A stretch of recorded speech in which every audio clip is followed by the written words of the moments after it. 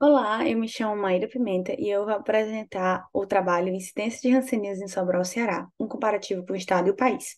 Os coautores são Lucas Duarte, Isabelle Maia, Douglas Marques e Yuri Abril. Nós somos da Universidade Federal do Ceará.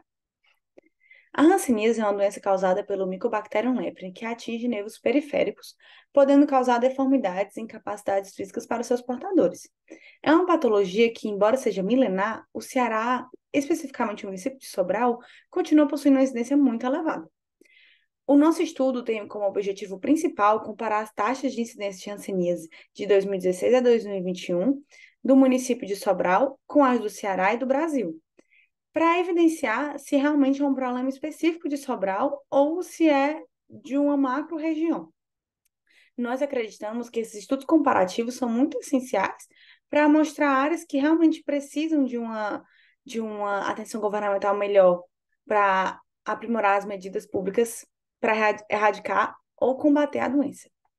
A nossa metodologia é um estudo comparativo que foi utilizado os dados disponibilizados no Sistema de Informações de Saúde, o SINASC, por meio da plataforma pública Tabnet, calculando assim a incidência de hanseníase nos locais já mencionados entre 2016 e 2021.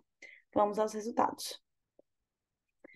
É, a incidência do Ceará, que é a coluna do meio de verde, é, foi muito parecida com a incidência nacional do Brasil em amarelo. Entretanto, é bem evidente que Sobral ficou com incidência acima em todos os anos analisados.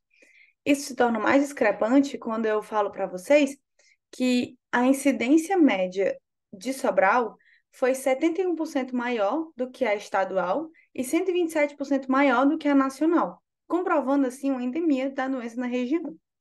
Isso pode ser um reflexo de diversos fatores e não é objetivo do nosso estudo afirmar quais são os verdadeiros fatores que impactam nessa incidência tão elevada.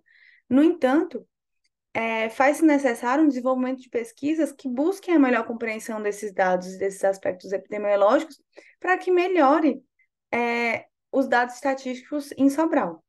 É válido ressaltar que, embora tenha tido uma queda é, pertinente em 2020, de 83,75 para 67,28, é muito importante analisar esses dados com cautela, visto que em 2020 foi o ano da pandemia, podendo ter causado uma subnotificação dos casos né, em todas as regiões. Né? É, é muito importante falar que faz necessário fortalecer as ações já existentes, principalmente na atenção primária, do diagnóstico precoce, visto que o risco de transmissão torna-se muito menor quando o tratamento é iniciado. E o, as os postinhos, as bases da atenção primária, são essenciais nesse momento. Eu gostaria de agradecer a atenção de todos vocês.